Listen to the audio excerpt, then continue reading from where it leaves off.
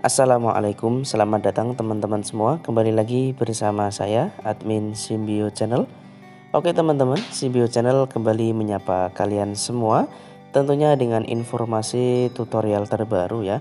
Dan di kesempatan video kali ini Admin akan membagikan informasi tutorial juga untuk kalian semua Yaitu cara menambahkan atau memberi lokasi di akun Twitter kita Oke teman-teman, untuk kalian yang ingin tahu bagaimana cara untuk menambahkan lokasi di akun Twitter, bagaimana caranya? Silahkan kalian simak dan tonton saja video ini sampai selesai ya. Oke teman-teman, tidak usah terlalu berlama-lama, kita menuju ke tutorialnya. Oke, baik teman-teman semua, untuk langkah pertama, kalian tentunya harus masuk terlebih dahulu di Twitter kalian ya. Oke, kita tunggu loading untuk membuka. Seperti ini teman-teman. Kemudian selanjutnya kalian pilih profil kalian yang ada di pojok kiri atas. Kalian klik saja di situ.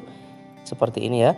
Kemudian selanjutnya kalian pilih di bagian profil ya. Kalian klik saja di bagian profil. Seperti ini teman-teman. Lalu selanjutnya kalian pilih di bagian edit profil ya.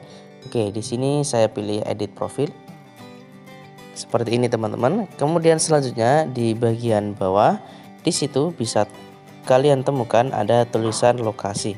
Oke, di sini kita klik lokasi teman-teman. Nah, kemudian kita ketikkan lokasi kita.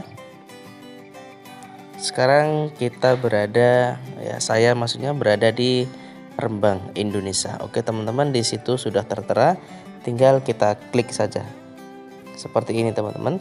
Kemudian untuk situs web kita tidak perlu menambahkan. Dan jika kalian ingin menambahkan juga tidak apa-apa. Di sini saya coba menambahkan ya. Www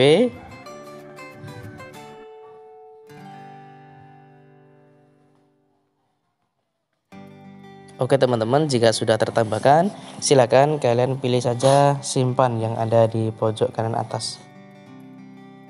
Oke jadi seperti itu teman-teman. Maka di sini bisa sudah terlihat kalian ada lokasi dan juga ada web yang bisa kalian cari di Twitter saya. Dan kalian jika ingin menambahkan seperti itu tadi cara yang saya sampaikan silahkan kalian coba di HP kalian masing-masing.